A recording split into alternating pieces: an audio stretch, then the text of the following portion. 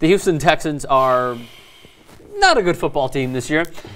Uh, Matt Schaub was booed mercilessly, merc- mercilessly as he uh, injured his knee. I believe it was his shin. He was grabbing his shin, Yeah. uh, and uh, he is now out for Sunday's game against Kansas City. T.J. Yates, who started the postseason last year, looked okay in a Texans uniform. They are not going with T.J. Yates. They are going with an undrafted man out of Houston, as a matter of fact, University of Houston, mm-hmm. Case Keenum. Now, Case Keenum's He's going through all those numbers at Houston, right? I remember that name now. Here are the numbers. NCAA leader in total yards, over 20,000. Passing yards, over 19,000. Passing touchdowns, 155. Total touchdowns, this is college, of course, 178 touchdowns. 178 total touchdowns. He put up laughable numbers, eye rolling numbers where it's like, God, this guy is good. So he's finally getting a chance. We talked about undersized quarterbacks. Russell Wilson is certainly undersized. Keenum is undersized. He's six foot one. You know who I would compare Kim to, just off the top Yeah. of my head, is the kid from Hawaii who set all kinds of touchdown records there. And That's who I was thinking on my drive in. can't remember his Colt name. McCoy. Not Colt McCoy. Um, uh, Colt Brennan. yeah, Colt Brennan. he- That's who I was thinking of like too. For 200 touchdowns at Hawaii too, right? Uh huh. Yeah, he's one of those guys. But I don't know. I'm rooting for the kid. No, I'm totally rooting Yeah. for him too, but he's going against the Chiefs, who put up 10.8 points per game, allowed 10.8 points per game. So uh, here's my question to you: Should they have started T.J. Yates, or do you go with Keenum just to try and TJ Yates. Try and TJ yeah. Yates. TJ Yates. For Why? this game at least. I mean, if you can have the plan. I mean, what do they have? Two wins this season so far. The Texans? I Texans. believe so. Um, yeah. they, they, like, not saying you scrap the season so early, but maybe you can just make a salvageable season. But if you plan is to go for the kid, give him a chance. So don't throw him in there in the fire against the best defense in the league so far.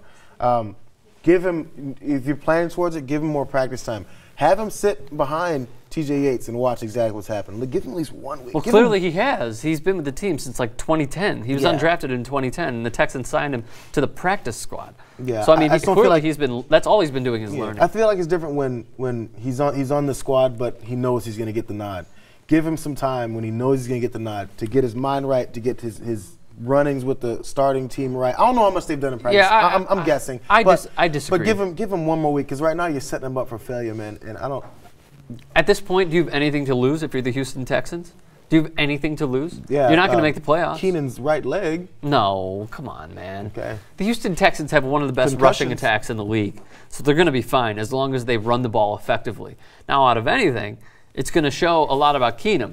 Can he make those throws? Can he make those strong throws in play action when there are seven guys in the box and Eric Berry's the lone safety in the back? Uh, uh, and maybe they're playing, I don't know, too deep, the Chiefs are. That's going to show me a lot about Case Keenum. How can he deal with pressure? And can the Yeah. Texans' offensive line give him give him a little bit of time to Exactly. make those give him throws? a chance, but then I give him a chance that if all these questions are unanswered, I'm just going to toss them in the fire, man.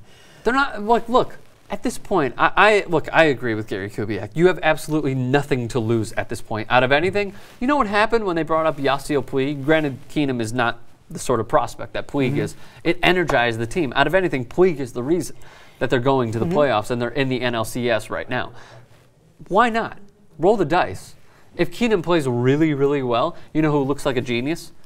Gary Kubiak. Yeah, but he looks like more of a genius if he gives him a chance. Like it's not strictly. He just, is giving him a chance. it's not just Keenum's like. Uh, it's not just his, his. Uh, I guess his his success to go for. Like you have to. Someone has to give you some help. It's NFL, dude. You're a quarterback. It's not just a single. You know, not just a one man show. There's a lot that affects your success.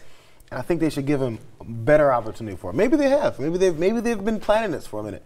Maybe they've been planning it since before uh, um, before Schaub got hurt. I don't know. I don't think so. No, they but um, give him a But little, out of give him anything, a little time. out of anything, last week's game where the Texans were blown out, T.J. Yates also threw a pick six. Yeah. So it just kind of shows you there's not much going on in Houston. Roll the dice. I complete.